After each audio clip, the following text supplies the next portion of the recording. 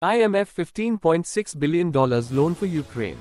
The International Monetary Fund IMF has approved a loan program worth $15.6 billion for Ukraine as part of a larger $115 billion package to aid its war-torn economy.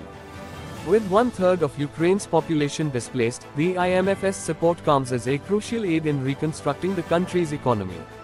Two-phase loan program for Ukraine. The IMF loan program for Ukraine will span four years and run in two phases.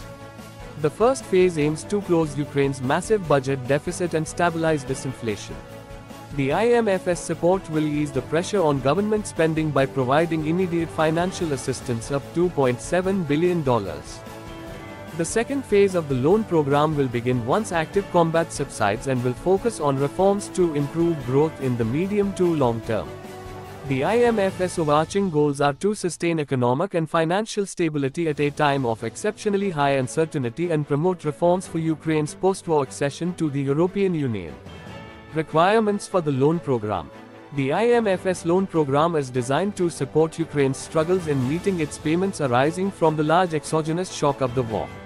Ukraine is required to meet stringent IMF targets while financing its possibly decisive spring counteroffensive, which is expected to commence in April 2023.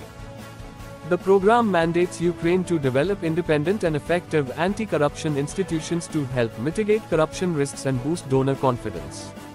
The risks to the IMF's arrangement with Ukraine are exceptionally high, according to Gita Gopinath, the first deputy managing director of the IMF. Despite the grueling war, Ukrainian authorities are commended for maintaining financial stability.